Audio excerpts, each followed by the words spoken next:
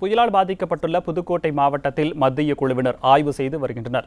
தமிழகத்தில் புயலால் பாதிக்கப்பட்ட பகுதிகளை பார்வையிட்டு சேத விவரங்களை மதிப்பிட ஏழு பேர் கொண்ட மத்திய குழு தமிழகம் வந்துள்ளது.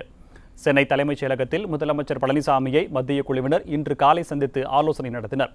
இதனைத் தொடர்ந்து விமானம் மூலம் திருச்சி சென்ற அவர்கள் அங்கிருந்து புதுக்கோட்டை சென்று புயலால் பாதிக்கப்பட்ட பகுதிகளை ஆய்வு செய்து வருகின்றனர். குளத்தூர் கீரனூர் பகுதிகளில் முதல்கட்ட ஆய்வை அவர்கள் மேற்கொண்டு வருகின்றனர். புதுக்கோட்டை ஆலங்குடி வடகாடு வடக்குப்பட்டி பரமன் நகர் மாங்காடு கோதியங்குடியிருப்பு உள்ளிட்ட பதிமூன்று இடங்களில் ஆய்வினை நடத்துகின்றனர். இன்று ஒரே குழுவாக செல்லும் அதிகாரிகள் நாளை வெவ்வேறு குழுக்களாக சென்று தஞ்சை நாகை திருவாரூர் மாவட்டங்களில் ஆய்வினை மேற்கொள்கின்றனர். இது போன்ற முக்கிய வீடியோக்களை உடனுக்குடன் தெரிந்து கொள்ள நியூஸ் ஜே யூடியூப் சேனலை சப்ஸ்கிரைப் செய்யுங்கள்.